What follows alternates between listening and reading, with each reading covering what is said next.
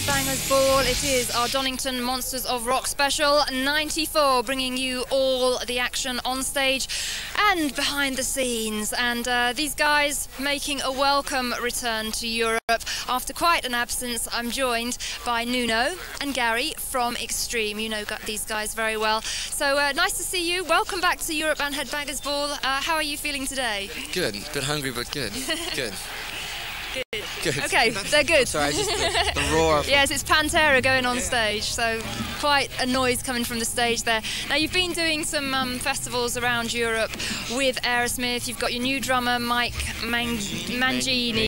Mangini, like is correct pronunciation. So, um, so just tell me really how things have been going with these shows and the new drummer. Very lucky enough to get on the Aerosmith tour. We've been yeah. waiting for that for a few years, and uh, that's been going good. Doing some festivals. Mike Mangini's our new drummer. Um, no hype. He's incredible. That's it. He's a great drummer. Yeah. Great cook. Yes. Oh, he's a bit of a character as well because oh, I met him at Rock am Ring. yeah. Yeah. He's not allowed to talk to me yet. Yeah. yeah. He hasn't met Gary yet. No. we, we had to we had to audition him, me and Pat.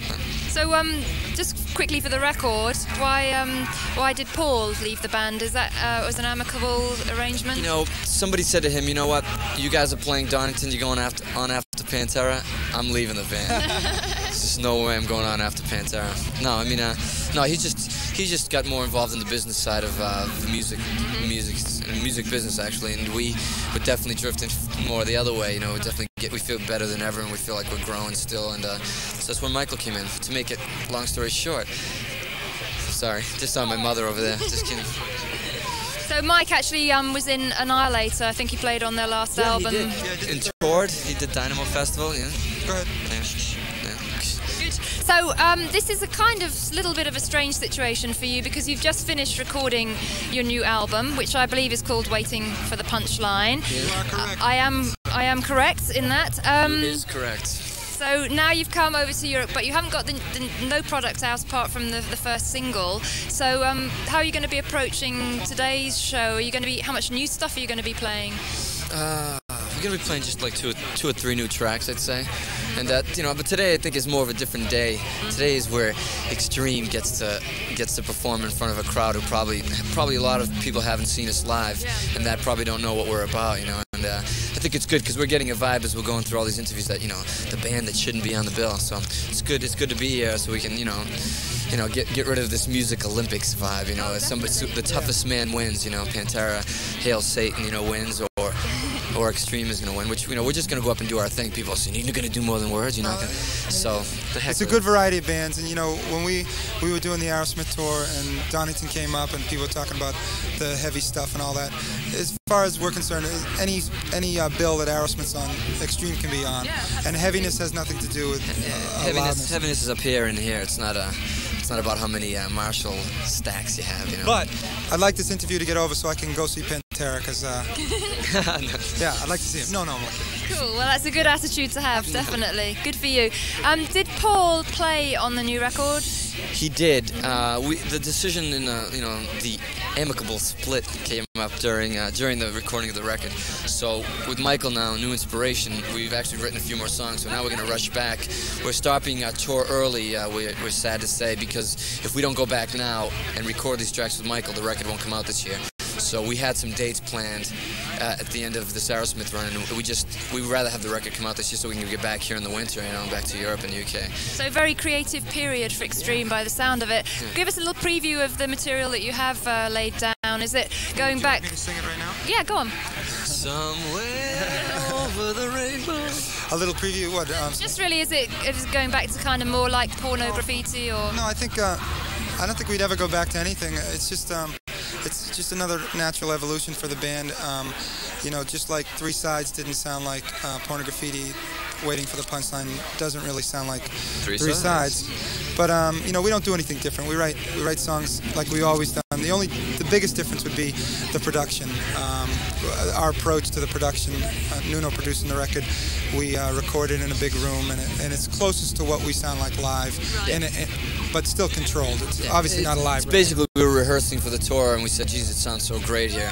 Let's just get this. Why do we always have to go in the studio? It sounds like you're in a studio." So I think we get the closest vibe to us being on stage as we could, anyways. But I think it's a I think it's a heavier record. Um, I think lyrically and musically, uh, the band has gotten better. So that's how we feel. So we're excited to put it out. We wish we had something out now. Vanessa's um, panicking. We'll, we'll be It's a back. long answer. We'll be back. Well, we will be back right after this live performance from Extreme. Here they are at Donington 1994.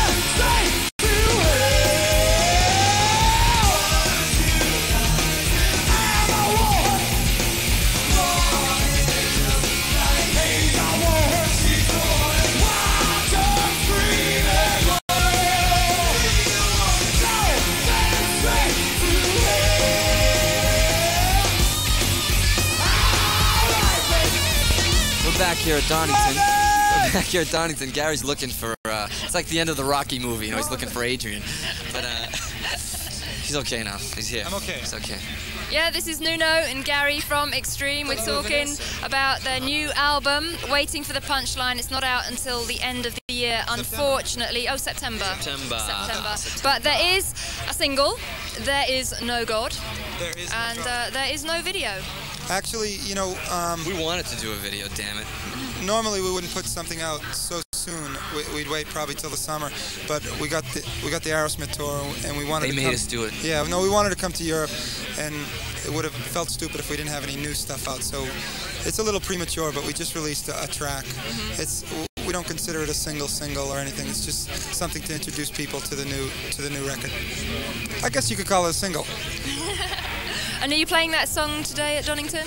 No, No. we are not playing it today. We've been playing it live, and we just, you know, we're in, we're still in that mode where um, we just can't seem to because we know the record's not done and it's not out.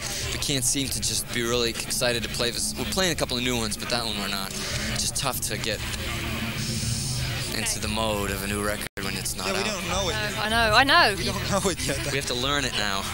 Now, for the last two albums, Pornograffitti and Three Sides, in some ways they could they had like a loose concept to them. Um, has this new album got any theme running through it? No, it's just loose. It's loose. No concept, just loose. It's like Uh, Gary, loose. Very loose. no, um, just a record, uh, 11 to 12 songs. That's about it. Um, some songs were written uh, close to each other, so I'm sure there's a connection, but um, unconsciously. Yeah. you know. The only there's an amazing guitar piece on it. You gotta check it out. Just kidding. No, there's a piece that we've been doing on tour for the last two years. I finally Oh, got yeah, it. we're playing that I didn't didn't fit on the last record, so Oh, is that the Bumblebee? no, it's uh, called Midnight Express. It's just an acoustic, acoustic Latino Turkish prison kind of setting vibe. Fantastic. Yes. Oh, good. Okay. Well, uh, I thought sort of return back to Donington a little bit. Actually, I mean, what is what do you see as the the biggest challenge of playing here today? Is it just kind of I think coming back to? cups. Yeah. Dodging cups, yeah. We've been looking forward to this. We're very good dodgers. Yes. You know, as you might have heard, the Los Angeles Dodgers. We, we've, we're very good We're, we're doing calisthenics in the back, and we're working on. Uh, We're ready. But we're also the, the- our best defense to that is we're, we're filling up ourselves. Yeah, We're getting gonna go back. We got some ammo filled up from the whole day. No, you know the, what? So you've heard a few stories about Donington. Yeah. But uh, you know, we've been through. We, we've done a lot of festivals in Europe. I'm sure this is very unique. And uh, what's this? Is this the 15th year? It's the 14th. The 14th year. So uh, you know, um, we're glad we're on this, and hopefully someday we'll headline it someday. Who knows? Absolutely. Yeah. I mean, uh, Or like- maybe we'll start the show. Who knows?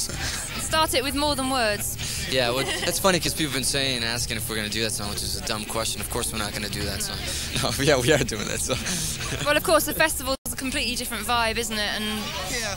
yeah, you got to do it. I mean, it's it's it's just, just that's why there's all these different bands. You know, if you had one one sound through the whole thing, I think I'd want to leave after like you know 12 hours. So it's good. It's good that Pantera's on. I, I- I dig their records a lot, but uh, you know, we're on after them. Big deal.